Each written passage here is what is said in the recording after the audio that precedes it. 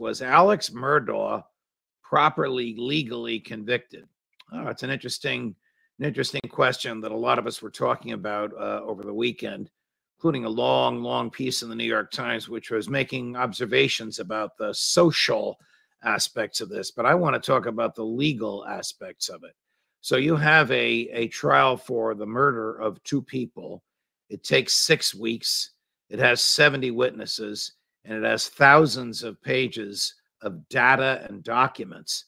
The data and documents really had to do with uh, digital aspects and information that the police uh, gathered uh, about Murdaugh, much of which showed that the information he had given to them uh, was untruthful and that they knew he was being untruthful to them. Of course, they were being untruthful to him.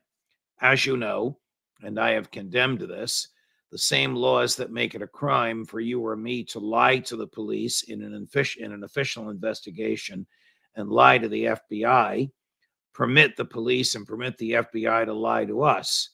So the cops knew he was lying to them and they lied back to him in order to draw more lies out of him.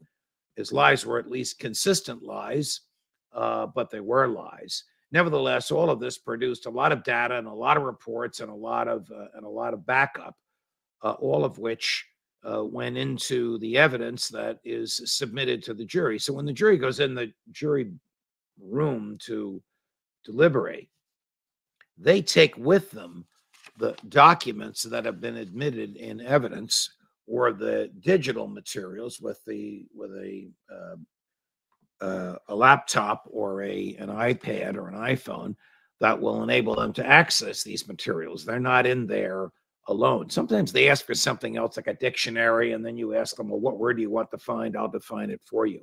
Some judges don't send the evidence in and they wait for the jury to ask for it. But the better policy is to send it in.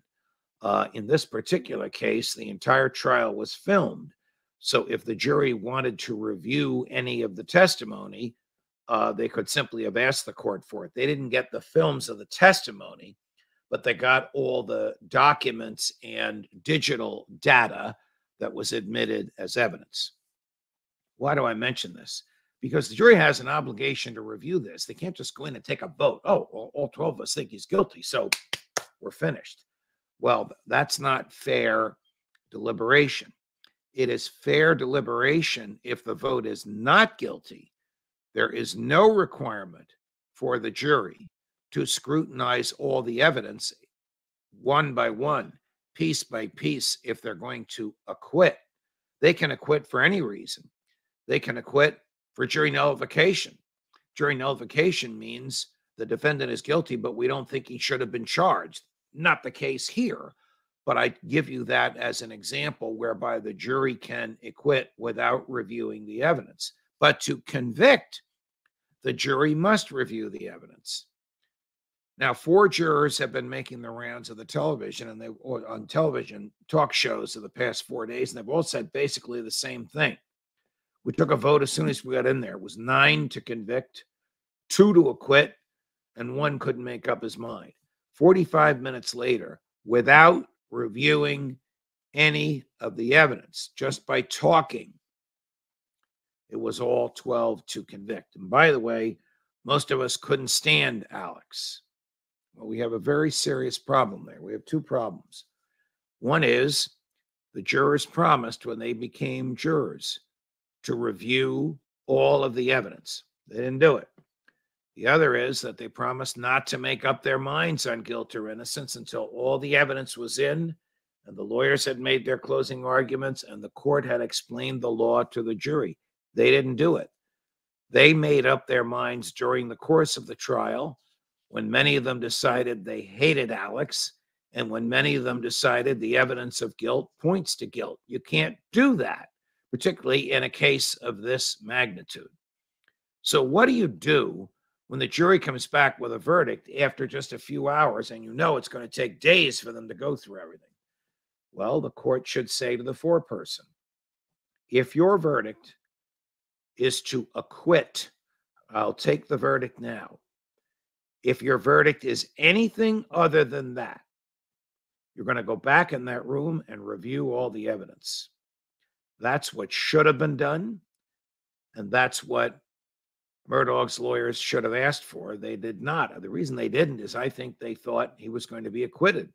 Statistically, a fast verdict, many, many, many high percentage of the times, I don't know that there's any stats with accuracy, but from my experience, a fast verdict in a criminal case 90% of the time means acquittal.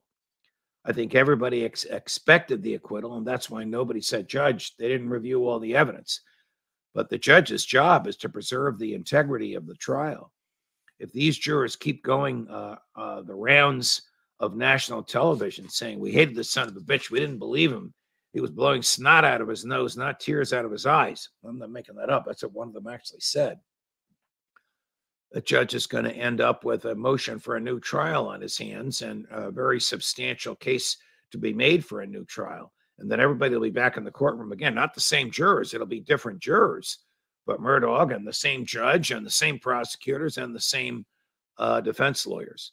The judge's job is to preserve the integrity of the trial so that both the state and the defendant get a fair trial.